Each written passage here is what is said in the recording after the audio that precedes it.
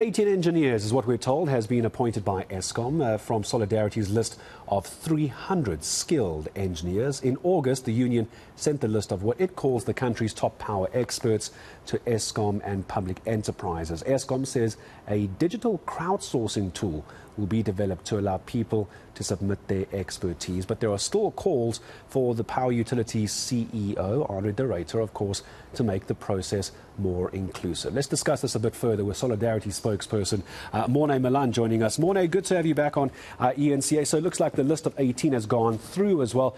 18 people, though. Uh, how much of a difference is this really going to make in the end? Uh, look, we've been incredibly disappointed uh, with the fact that there has only been 18 appointments. Um, you know, this is a process. The skills shortage, the shortage of expertise, the shortage of knowledge, the shortage of experience. It's it's something that has plagued Eskom for quite some time now. We have, for example, been involved uh, with regard to the skills shortage at Eskom since at least 2019. So, unfortunately, uh, we have had these lists in the past, and it took until stage six load shedding threatened in July of this year uh, before the Minister of Public Enterprises, Pravin Gordhan, finally took us up on the offer and finally accepted our help and decided to appoint uh, some of these individuals or decided to take the, the list at least. Uh, unfortunately, we've seen that characterize the current process as well. Um, it's just a lack of urgency a lack mm. of political will on the part of Eskom, and at the moment we just simply can't afford it.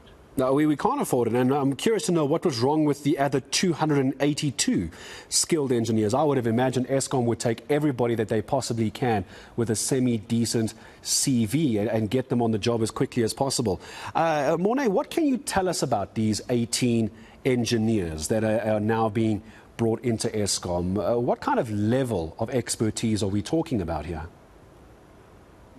Uh, look, unfortunately, we're not involved with in the appointment process itself, so I don't have any information regarding the 18 individuals that were appointed by Eskom. Uh, that's now in Eskom's hands. Uh, I hmm. can talk to uh, talk about the list more generally. Sure. Uh, of those 300 individuals uh, who are on the list, they had amongst them over 400 accredited qualifications, 14 of which were PhDs a cumulative 5,500 years of experience. So these really were the absolute best of the best with regard to the energy sector in South Africa. Uh, so that's good news, at least. Uh, the qualifications, I think, is what people are looking for, the expertise. We can't just keep on uh, using the same process, banging our heads against the wall, uh, wanting a different outcome. I'm sure someone called that the uh, definition of insanity. So, why is there a call to make this more inclusive? What do we mean by more inclusive? Surely we can't be fussy at this point. If you've got an engineering degree, if you've got a PhD in engineering, we need you, we want you, go work for Eskom. Why are we complicating it by trying to be more inclusive now as well? Uh, look, from our perspective, we have absolutely no idea uh, why Eskom is looking to clog up the process even further. Mm. Uh, look, from our perspective, our list, we had no other, we only had two criteria upon which we judged who, uh, who deserves to be on the list. We sat with some of the top experts in energy in South Africa and we developed this list. The only things we were looking for were skills and a willingness and eagerness to help. So we didn't have any other qualifications, either demographic or with regard to gender or anything like that.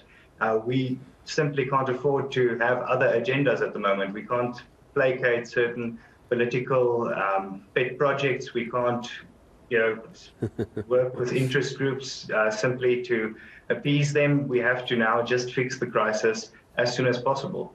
Well, that's what I was going to say. Uh, it almost sounds like this is becoming a bit of a, an internal political issue uh, once again, which Eskom has been accused of many, many times. Ted Blom, I'm sure you'll know Ted Blom, often on eNCA and other channels saying it's the political interference which is causing uh, a problem right now. So then, uh, Morné, I know we can't talk about Eskom, so let's bring it back to solidarity. So we still have this list of two, is my maths right? 282 engineers, is that right?